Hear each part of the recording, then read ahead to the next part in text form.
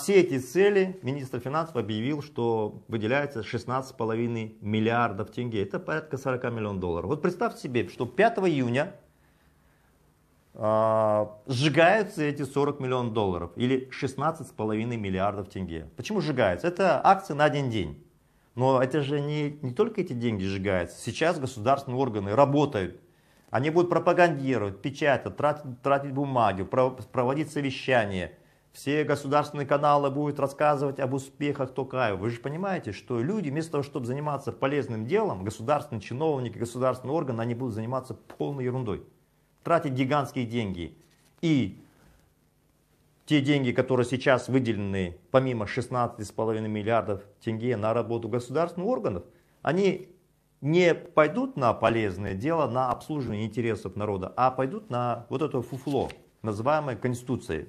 Вместо того, чтобы этой ерундой тратить, на эту ерунду, можно было просто потратить эти ресурсы на обеспечение квартирами современными в столице трех тысяч человек. Если считать, что средняя стоимость квартиры, между прочим, а, строительство имеется в виду, в столице, в Алмате, в Астане порядка 700-800 долларов, здесь, если все это поделить, получится так. Вы понимаете, это не безобидная вещь, когда вы спрашиваете, почему мы плохо живем. А мы плохо живем, потому что наше государство в лице ее управленцев просто сжигает ресурсы в никуда.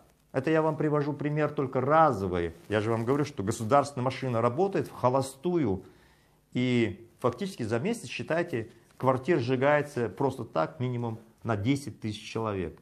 А у нас миллионы нуждающихся. Понимаете, да, что происходит?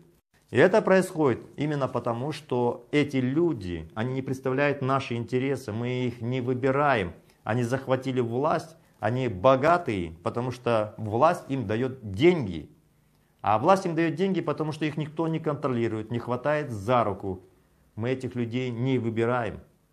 Ни премьер-министра, ни министров, ни депутатов, ни президента. Они сами себя назначают, потому что они расставили Центральную избирательную комиссию своих людей, Учителям и другим они платят за счет государственного бюджета деньги, они участвуют в фальсификации, а мы молчим.